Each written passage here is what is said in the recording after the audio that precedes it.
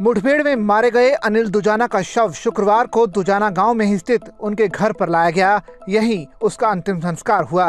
इससे पहले अनिल दुजाना के घर में चीख पुकार मच गई। दुजाना गाँव के अलावा दूसरे इलाकों की महिलाएँ और रिश्तेदार भी अनिल दुजाना के घर पहुँचे। महिलाओं और परिजनों का रो रो कर बुरा हाल है।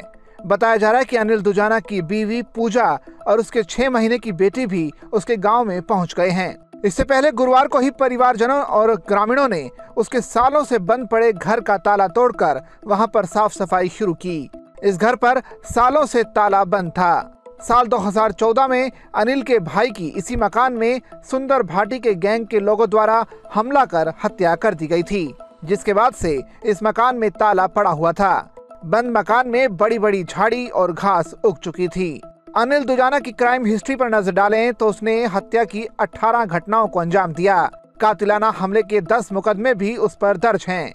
वहीं मुजफ्फरनगर पुलिस ने दुजाना के खिलाफ एक बार रासुका की कार्रवाई भी की थी।